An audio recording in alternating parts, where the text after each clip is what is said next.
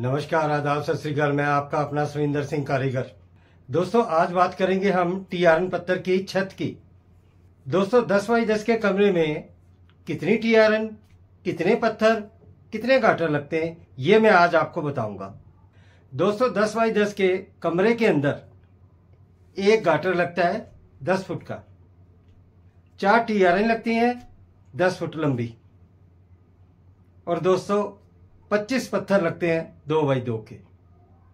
पत्थरों को छत में डालने से पहले पत्थरों को बिल्कुल इक्वल कर लेना चाहिए, जो ऐसे होता है ना, छेनी से उसको बिल्कुल या मशीन से उसको स्ट्रेट काट के सीधा कर लें, ताकि पत्थर के जोड़ आपस में बिल्कुल ऐसे मिल सकें, ताकि टीप नीचे से भरने में आराम रहे, ऊपर से ग्रोटिंग करने में सही रहे।